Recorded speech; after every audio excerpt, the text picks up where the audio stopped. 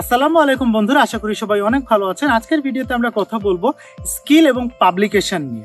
আপনারা যারা বিভিন্ন ডেভেলপমেন্ট সেক্টরে জব করতে চান, তাদের জন্য কোনো কোনো ক্ষেত্রে পাবলিকেশনটাও খুবই জরুরি। সো তাদেরকে কিন্তু কন্টিনিউয়াসলি বিভিন্ন রকমের ডেটা অ্যানালাইসিস রিসার্চ এবং পাবলিকেশনের কাজের সঙ্গে ইনভলভ থাকতে হয়। সো আজকের ভিডিওতে আমরা সেইটাই এক্সপ্লোর করার চেষ্টা করব যে কীভাবে আপনার স্কিল এবং আপনার পাবলিকেশনগুলোকে যখন রেজুমি রাইট করবেন, তখন সেখানে উল্লেখ করবেন। তো চলুন আর দেরি না করে আমরা ইন্টার পরে মূল ভিডিওতে আসি। আপনি যদি প্রথমবারের মতো আমাদের চ্যানেলে ভিউয়ার হয়ে থাকেন সাবস্ক্রাইব করে বেল বাটনে ক্লিক করে দিন এবং আপনি যদি অলরেডি আমাদের চ্যানেলে সাবস্ক্রাইব করে থাকেন, আপনাকে অসংখ্য ধন্যবাদ।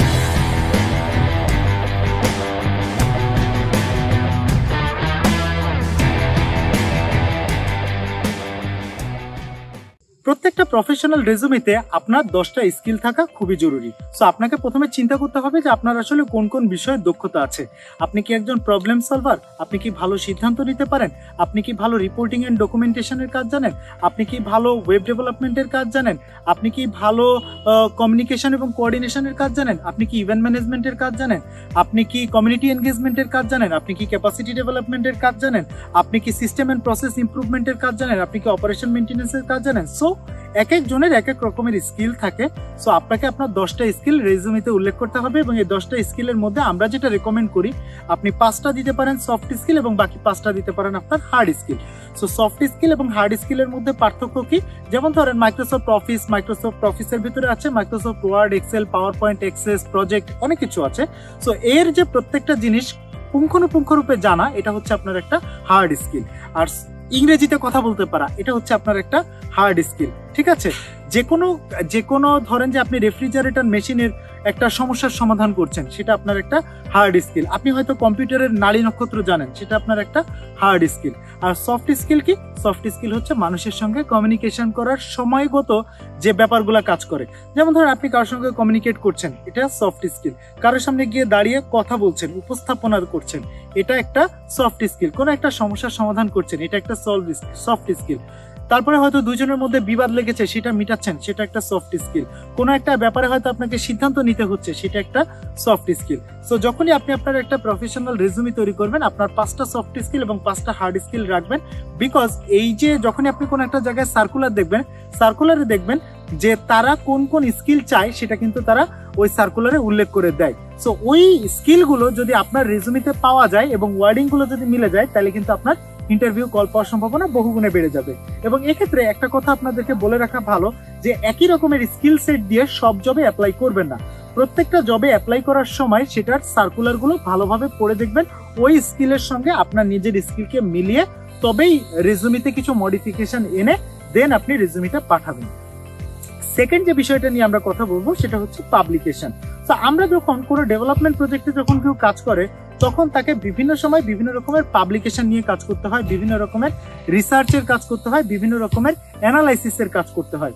তো এই কাজগুলো যখনই আমরা কেউ করি তখন দেখা যায় আমাদের বিভিন্ন রকমের হাইপোথিসিস ডেভেলপ করতে হয় ডেটা কালেক্ট করতে হয় কোয়েশনারি তৈরি করতে হয় কোয়ালিটেটিভ অ্যানালাইসিস করতে হয় কোয়ান্টিটেটিভ অ্যানালাইসিস করতে হয়, তারপরে ডেটা কালেক্ট করে সেটার উপরে বিভিন্ন রকমের রেকমেন্ডেশন আমাদেরকে দিতে হয় ডেটা অ্যানালাইসিস করে এবং ডেটা অ্যানালাইসিসের জন্য বিভিন্ন রকমের অ্যাডভান্স লেভেলের টুলস অ্যান্ড টেকনিক্স এসপিএসএস অনেকে ইউজ করে, আমরা ব্যবহার করে আমরা ডেটা অ্যানালাইসিস করে সেখান থেকে আমরা কি আউটকাম পেলাম? সেটা এবং সেই আউটকামটাকে কীভাবে আরও ইমপ্রুভ করতে পারি? এই রিলেটেড বিভিন্ন রকমের রেকমেন্ডেশন দিয়ে রিসার্চ পেপার তৈরি করতে হয়।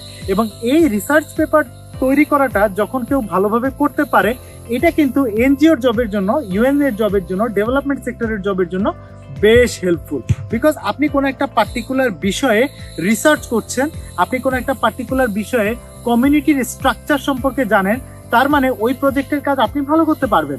বিকজ ওই প্রজেক্টটা আপনি পেলে, আপনি ওই প্রজেক্ট নিয়ে আগেই মার্কেটে আম জনতার সঙ্গে অনেক কাজ করেছেন, তাদের সঙ্গে মিশেছেন, তাদের ডেটা কালেক্ট করেছেন, তাদের ডেটা অ্যানালাইসিস করেছেন, তাদের নিড অ্যানালাইসিস করেছেন, তাদের রিকোয়ারমেন্টটা আপনি জানেন, তারা কি চায় সেটা আপনি জানেন। সো আপনার জন্য তারা কি চায় এবং তারা কোথায় আছে, এই দুইটা ডেটাই আপনার কাছে ক্লিয়ার সো আপনি তাদের জন্য বেটার ইমপ্লিমেন্টেশন ফ্রেমওয়ার্ক ডিজাইন করতে পারবেন বেটার বাজেটিং করতে পারবেন বেটার অ্যানালাইসিস করতে পারবেন এটাই সাধারণত ধরে নেওয়া হয়।